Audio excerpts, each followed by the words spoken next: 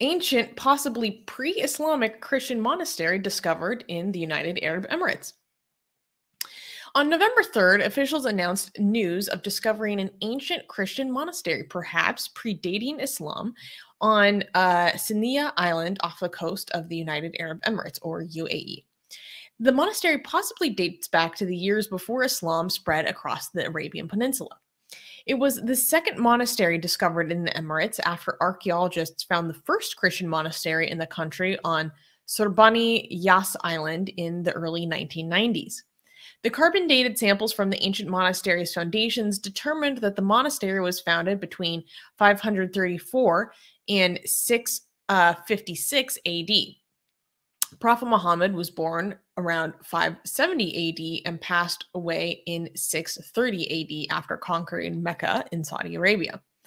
A collection of buildings, allegedly, possibly, allegedly, we don't know that for oh, sure. Okay, Go yes, according to legend, um, a collection of buildings, possibly belonging to a pre-Islamic village, according to archaeologists, were also located a few hundred miles from the monastery. Timothy Power, an associate professor of archaeology at the UAE University, said, quote, "It's really fascinating discovering because in some ways it's a hidden history. It's not something that's widely known." You know why I say allegedly? Because nothing was like this was found around Mecca, which is supposed to be supposed to have been the center of trade around that area. Okay, but no, you find something like this in UAE. So hmm. the, the whole Mecca being as, as significant of a city as the Quran claims and everything, as the like Sirah claims and all, just mm. yeah. So Armin, what do you think the significance of this is in terms of countering dominant Islamic narratives about the Arabian Peninsula? Well, I don't know about this specific one, but it, it just reminds us, guys, once again, okay, that we have been digging and digging and digging, and we have found nothing like this around Mecca. Okay, so mm. it challenges the Islamic narrative, mm-hmm. right? So I just a reminder of that because if there was like you you will see like stuff like this like, are found, you know, it is kind of like the story of um, the, the in the Bible where the where the Jews were supposed to have been slaves in Egypt, and they have like that mass exodus. Like if that if that actually had happened, there would be way more evidence. Like there would be evidence for it. Like you don't have a movement that size from Egypt to Israel without for forty years, without a trace without any trace, any archaeology like, like that. Yeah, sure, no, that did not happen. Also, the war against the like the people that lived, um, the in the Canaanites, the uprising, like oh yeah, sure, there's no arrows here, there's no swords here.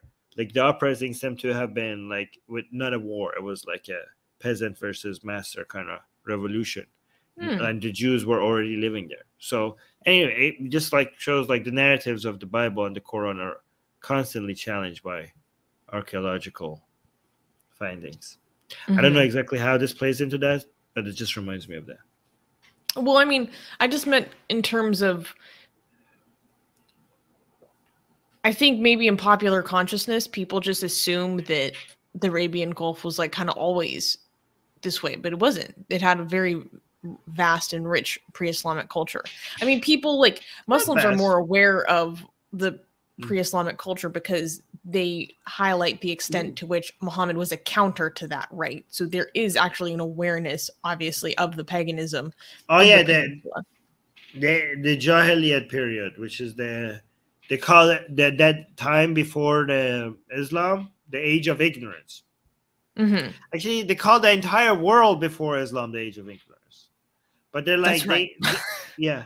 So the way that you, when you read Islamic um, account of the world, they make it seem like the whole world was in chaos before Islam showed up.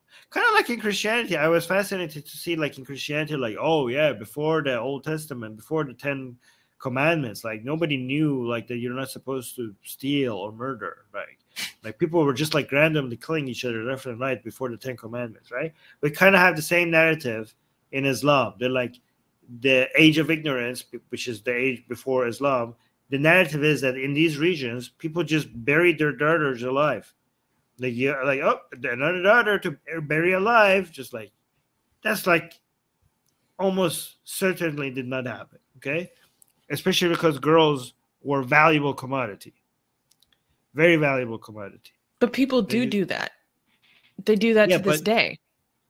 I know, but not on a mass scale that Islam, like experts have said, came out and said, like the way Islam says, like men just always buried their girls alive. Uh, like that was like something that was so rampant. It, it, almost certainly did not happen back before Islam. You know, maybe mm-hmm. there was one guy who did it, and there's a story like just like went viral, but it wasn't like it wasn't a widespread practice at all. But mm-hmm. Islam like makes it seem like that was just the norm. Mm-hmm. And actually, if you look at what the actual norm was before uh, uh, Islam, the norm was a lot better than Islam, what Islam introduced in that area. Um, like women's rights were respected very much, um, a lot more than what Islam introduced.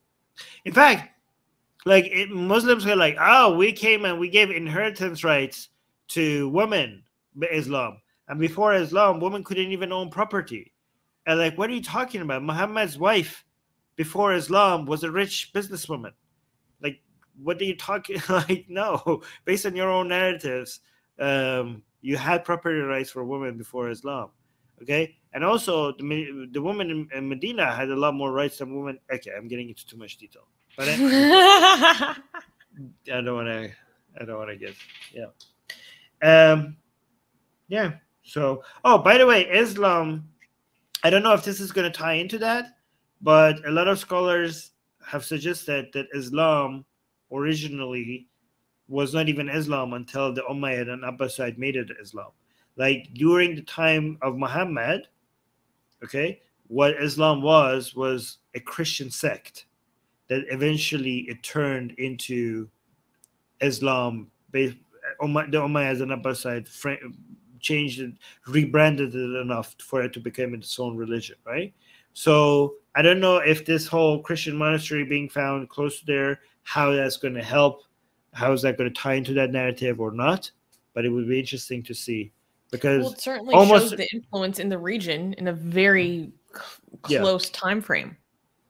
Yeah, the presence of Christians in that region was uh, is very well documented, and the brand of Christianity that was there at the time of when Islam or the proto the proto Islam started to show up was an was a Christianity that did not consider Jesus to be the Son of God right? Uh, it's considered Jesus. Right. It's considered yeah. It was a Christianity that considered Jesus Jesus to be a prophet of God, um, and because you know when the when Christianity was being uh, canonized, all these heretical views like left the main Christian centers, and some of them went came and to these places, but as, as, from fear of persecution, they went and came to these other places, including in Arabia, right? And that sect of Christianity, one of those sects of Christianity, which considered Muhammad to be a prophet of God, eventually turned into Islam. And if you could, you could actually see that uh, a lot of the uh, Quranic verses in the Quran were actually uh, Christian prayers that wanted to set itself apart from the mainstream Christianity was taking shape by constantly emphasizing that God has no sons. Um, and Muhammad was a prophet, only a prophet, and God has no sons, right? But mm-hmm. the fact a lot of people are saying Muhammad originally referred to Jesus, not to Muhammad. Eventually, oh, yeah. because Muhammad is actually a title. Title, yes. It's not a name. oh, yeah. wow, that makes sense. Yeah. You could even see you could even see that the for for a hundred years, even though the Umayyad uh, for for one hundred years after the alleged death of Muhammad, uh, there's no mention of Muhammad in any Islamic writings, even though there was a lot of writings. And you can see Islamic coins, like the coins that by the Umayyad, Umayyad dynasty, have, actually had crosses on them. Mm-hmm. Yeah. So, yeah, I mean, I did, none of this is uh, proven beyond reasonable doubt, but this is the theories that are being put forward. Mhm. So I just don't. I mean, it's fascinating to dig into. Um, Yeah. which is kind of why I wanted to like talk about this news because I know that you're like so knowledgeable about these things. I'm like, let's just let him go. no, I wouldn't consider this to be knowledgeable. I just like some. you're Yeah. more mean- knowledgeable than people. That's a fact Okay, sure. on this subject. So, yeah, I'm not All saying right. you're a scholar. Get my best-selling book, Why There Is No God, for free. Click on the link for it in the description.